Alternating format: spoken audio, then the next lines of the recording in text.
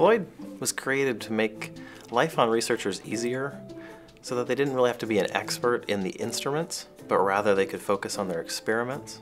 So all I wanted to do most of the time was check. Did my dye get loaded into my cells? Did my GFP transfect? Was my antibody working? So after a couple years of frustration, finally me and a buddy said, we can do better than this. And we went out and talked to other users and they were having similar problems to us. They didn't do fluorescence microscopy every day. They didn't do it every week, every month. They needed a simpler way to check their stuff. So we tried to make FLoid as intuitive as possible to allow people to be able to just walk up, image a sample, get a result, and walk away and never have the instrument be a burden. You can take a student who's never done fluorescence microscopy and they'll either walk up with a slide or you give them a slide and say there's three colors on here, go at it. And they are so intimidated by the old micros microscopes and how they work, they almost don't want to start. The first person to use it was my 15-year-old son at my kitchen table, a prototype, and he had images going within 45 seconds. FLoid works really well if you're just kind of routinely looking at a lot of GFP expression in mammalian cells, doing transfection experiments, for example, FLoid's perfect for a tissue culture facility where people put it right next to the incubator, pop out their cells, take their image on FLoid, and they're right back in the incubator. They don't have to walk down the hall or walk somewhere else to get the images. One of the beauties of FLoid is that you just flip a single switch, wait about a minute, and you're instantly ready to image. It's something you have to work around on fluorescence microscopes is the stage. They either have inserts or they won't accept everything you bring up to them. You have to place, place the sample in something that you can use on a fluorescence microscopy stage. With FLoid, it was built to take everything from slides to tissue culture discs to flasks. Anything you can put on there is going to work with FLoid. We made the stage on FLoid something that uh, both accommodated all types of sample vessels, but also would allow you to very intuitively move your sample around in very small motions. People think it's magic, they think it's magnetic, they think it's some sort of electronic system. They're able to move the stage just a few microns at a time because of the technology we put in. On a traditional microscope, you'd put a sample on and try to just adjust it a little bit and you see your image just slide way off the screen. Another thing we saw when you go out and watch people do fluorescence microscopy or even in our building is they're oftentimes in a dark room. With FLoid, what we did is put this little light shield that actually blocks ambient light. So FLoid, we've done it out in the hallway of buildings and most of the FLoids that are used even on this, this campus are at the end of somebody's bench. Everything on our user interface is very iconography, it's icon based. It's what we're used to seeing in our computer world of today or whatever else we use. There's a, there's a camera you click to take an image. There's a red light bulb you click to turn on the red. Um, I haven't seen anybody have a problem with using this machine to know what to use. The single hardest thing that I've always observed is people have a really hard time focusing on a sample. They'll turn the knob one direction and they'll hit a stop and they'll go, oh, I didn't see anything, and they'll have to crank back on the knob all the way. So we put an old analog switch on there that, that just goes from zero to 10. And basically you get used to, I have this type of sample vessel.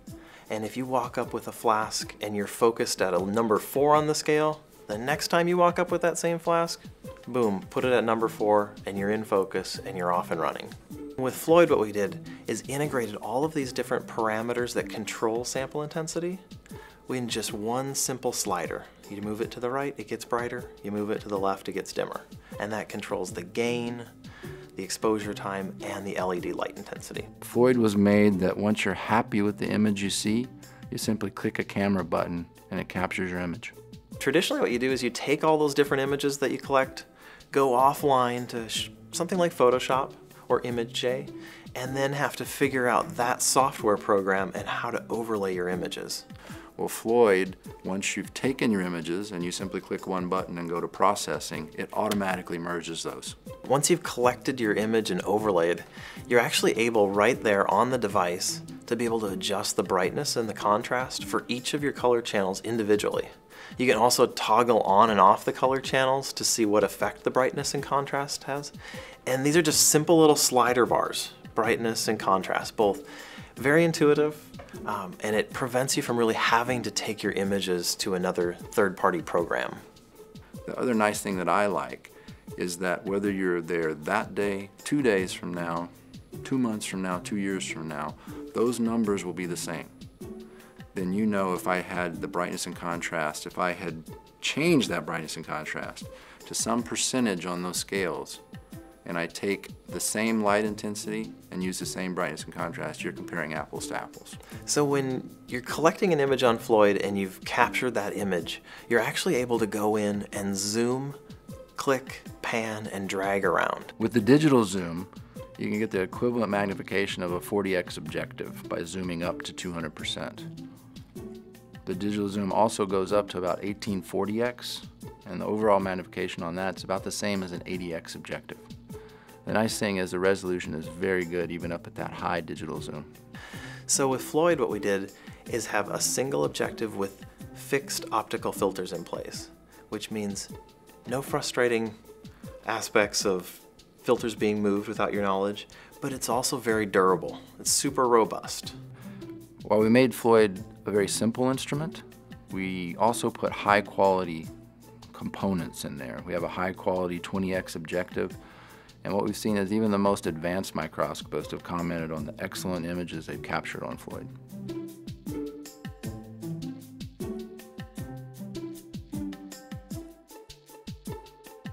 So you're able to take an image on FLoid and just instantly hit print and get this nice small little print that peels off and sticks right in your notebook. And it's you can also of course not put it in your notebook, but put it at your desk, on a wall, coffee mug.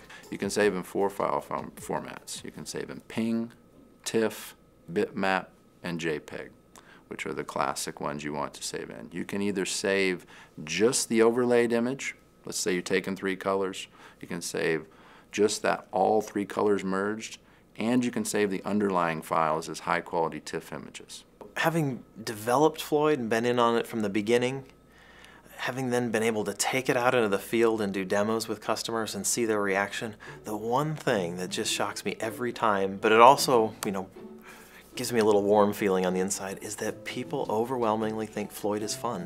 One of, one of the other things I've seen with users that have FLoid currently, or when we're out there just demoing it, or the beta testers, is how they really kind of fall in love with FLoid, with the click, and also with the printing of it. You know, you, you walk away with something when you use FLoid. But that simple, it's on a monitor. I don't have to look through the eyepieces. I'm using the mouse to drive it. It easily focuses for me. It gave me an assistance even to find my focus. And the way I can go from a simple click from having, taking these images to processing them and merging them, I've, I've heard people say, I love this machine. This thing is exact, this would have made my life so much easier when I started, or with new students, I can do it. I'm not intimidated by this. I can now do fluorescence microscopy.